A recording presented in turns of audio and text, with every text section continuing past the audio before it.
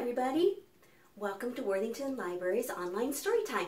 My name is Miss Karen and today we are going to do some stories about ponds and pond animals. But first, let's do our opening song. This is The More We Get Together and the signs in this song go like this. This is more.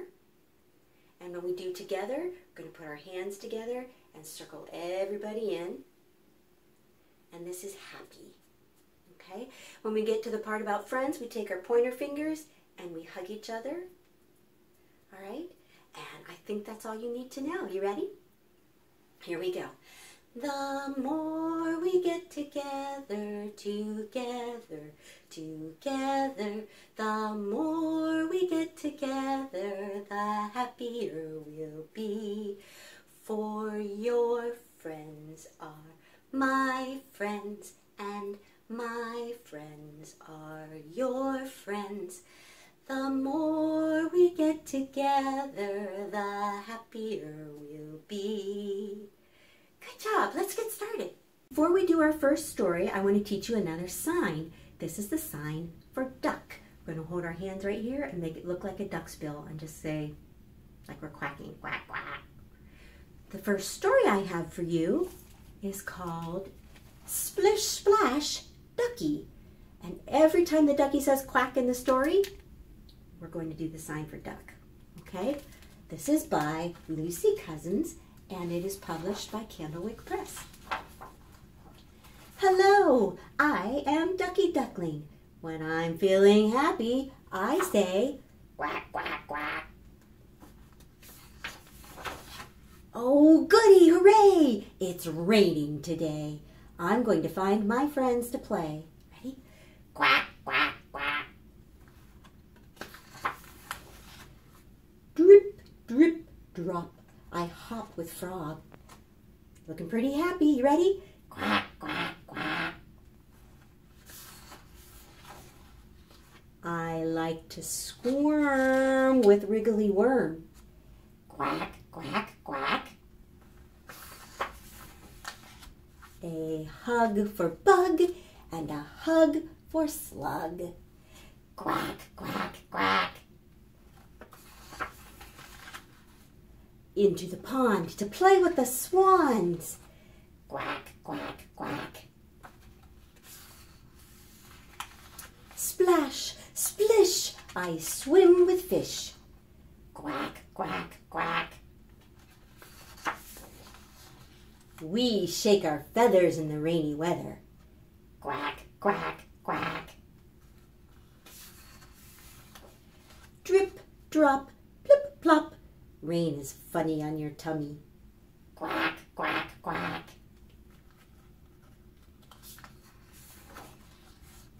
Squeak, squeak.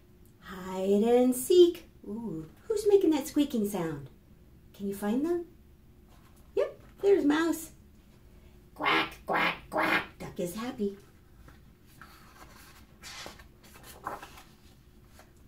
Oh, no. The rain has stopped. No more drips. No more drops. No more quacking. I'm feeling sad. I think I'll go to see my dad.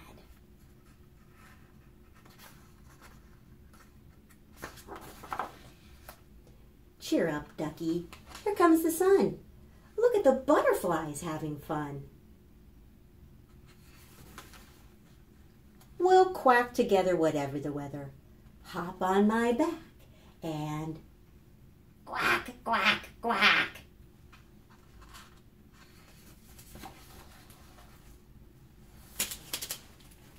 Now we're going to sing a song about a duck and a couple of other pond animals, and I'm going to show you the signs for those as well.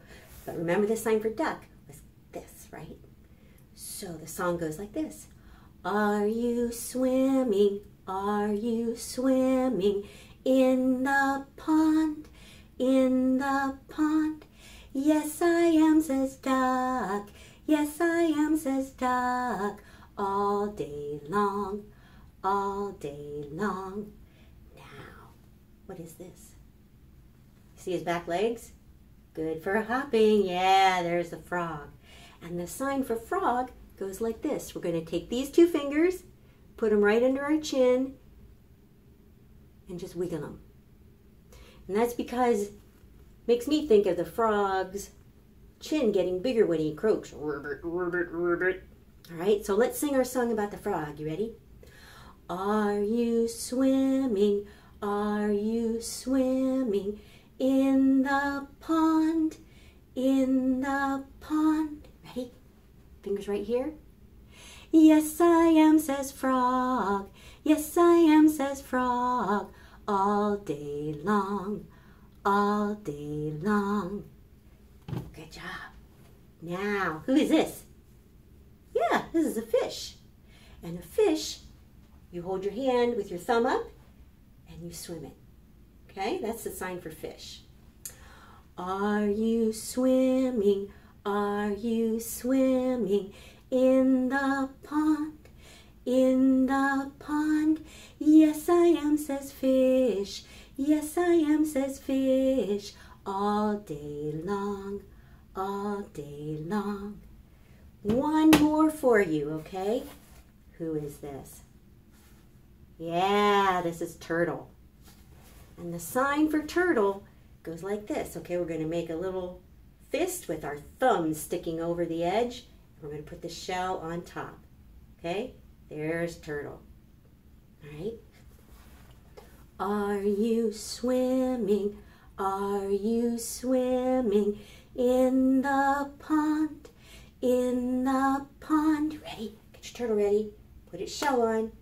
Yes, I am, says turtle. Yes, I am, says turtle all day long, all day long. Good job. The next story I have for you is an older story, and this is based on a book that I believe is out of print now. But the title is A Turtle Tale by Frank Asch, and it was originally published by Dial Press. And before we get started, I want to remind you of something about turtles. The coolest thing about turtles is that they can pull themselves inside their shell. So if they're scared or hiding or just taking a nap and want to keep safe, they will pull themselves inside their shells. This is a story about a turtle who has a little trouble figuring out when to put his head out and when to keep it back in. He's trying to learn how to be a wise turtle. Now, wise is another word for smart in it, so it means that you are smart and you make good decisions if you are wise. So here we go. A Turtle Tale by Frank Asch. One morning, on the way to the pond, an apple fell on Turtle's head. Bonk!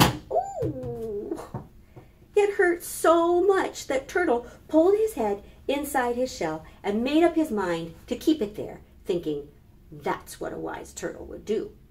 Inside his shell it was so dark he couldn't see a thing, but he could still smell his way along the path to the pond. On the way, he bumped into an old friend. Ooh, ooh, hey, watch where you're going. Sorry. Well, he bumped into rocks. Ow! And he fell off logs. And he rolled down hills. And when he got to the pond, he could neither eat nor drink. Why couldn't he eat or drink?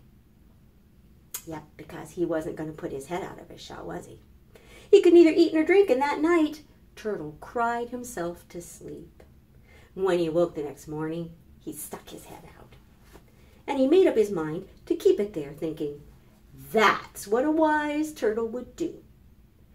By then, he was very hungry and very thirsty, so he took a nice long drink, and he had a fish for breakfast. Yum. Then he climbed on top of his favorite rock and he began to sun himself. Oh, that felt good. When the sun went in and raindrops began to fall, all the other animals took cover, but not Turtle. Fox, too, was running for cover when he saw Turtle sunning himself in the rain, and he decided to have some lunch. While Fox leaped through the air straight for Turtle's head, Turtle thought to himself, but then again, maybe it's best if I keep my head out sometimes and sometimes put it in. Plunk. Oh, ow. Well, Fox finally gave up and went on his way. And Turtle stuck his head out when the rain stopped, and the sun came out again, and he finished sunning himself, thinking, Yup, that's what a wise turtle would do. The next story I have for you is by Kimberly Knudsen, and it is called The Jumping Game. And in this game, in the story, there is a fish and there is a frog. Now I want to show you something about the frog. What do you know about frogs and jumping? Frogs are really good jumpers, aren't they? Look at those legs. See how they're bent? When a frog jumps, he straightens out his legs and he uses that bend to help him get extra push when he jumps up. Now, grown-ups, kids start jumping around the age of three, give or take. Sometimes it takes them a little bit to get used to the motion, and one thing that you can help them do to figure out how to learn to jump is to remind them to bend their legs. So when we do this story, we are going to jump along with fish and frog, and when we jump like the frog, we're going to bend our legs way down low. You're not going to be able to see my legs, sorry. Here we go, we're going to bend them way down low, and then we're going to push our feet really hard against the ground. Ready? One, two, three, jump! All right? So bend your legs way down, push your feet really hard, and jump! Good! Here we go. This is the jumping game. Fish jumps. Frog jumps. Ready? Bend your legs. Jump! Fish jumps again. Jump! Frog jumps again. Ready? Jump! Fish and frog jump at the same time. Oh, bonk! Oh, ow. Fish and frog decide to play hide and seek instead. Here is another super short story by Michelle Knudsen, um, also by Candlewick Press. And this is another story about fish. Do you remember the sign for fish? Yeah, so we're going to take our fish and do the story along with me. Because it's really short, we're going to do it twice. Okay, here we go. Fish swims down. Ready? Take your fish down. Fish swims up. How high can you make your fish swim? Way up there. Good job. Fish swims upside down. Put your thumb down this time. Fish swims in circles. Make your fish swim in a big circle. Fish swims in more circles, more circles. Oh, fish is dizzy. All right, let's do it again. Here we go. Get your fish ready. All right. Fish swims down. Fish swims up, way up. Fish swims upside down. Fish swims in circles. Fish swims in more circles. Oh, fish is dizzy. Ooh. Now let's do a rhyme about a frog. Are you ready? This is called a little frog. And if you are big enough to jump like a frog by yourself, you can jump. Grown-ups, if you have a tiny child, um, you can lift them up when they jump, okay? Um, and you can do that even with, with young babies. You can lean up or down to help them get the feeling of jumping. Okay, let's go. A little frog in a pond am I. Hippity, hippity, hop. And I can jump in the air so high. Hippity, hippity, hop. Let's do it again. You ready? A little frog in a pond am I. Hippity, hippity, hop and I can jump in the air so high. Hippity, hippity, hop. Good job. The last story I have for you today is about a frog, a special kind of frog. This is a wide-mouthed frog, and it is by Keith Faulkner, and it is published by Dial Books for Young Readers. There's a part in this story for you illustrated by Jonathan Lambert. And I want you to open your mouth as big and wide as you can, like a wide mouth frog. Ready? Show me how big and wide you can make your mouth. Good job. Now say, I'm a wide mouthed frog and I eat flies. Can you say that with me? Let's do it. I'm a wide mouthed frog and I eat flies. All right. Are you ready? Here we go.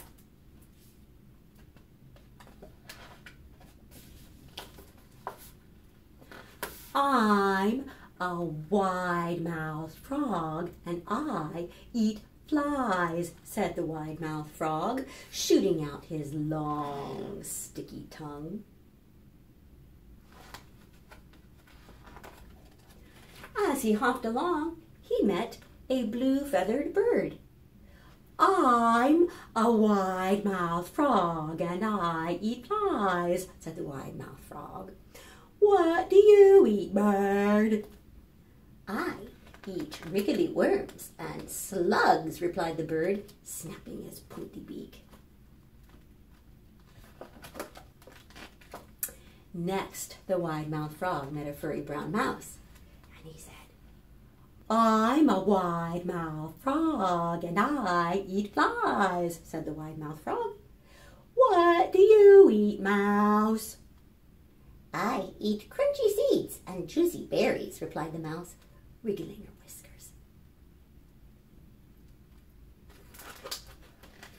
The wide-mouthed frog was still catching flies when he saw a big green alligator. I'm a wide-mouthed frog and I eat flies, said the wide-mouthed frog. What do you eat, alligator? I eat delicious wide-mouthed frogs, said the alligator, showing his sharp white teeth. The wide-mouthed frog stopped catching flies and gulped. Then he puckered his lips and he made his mouth as small as possible. Ooh, you don't see many of those around, do you? he said.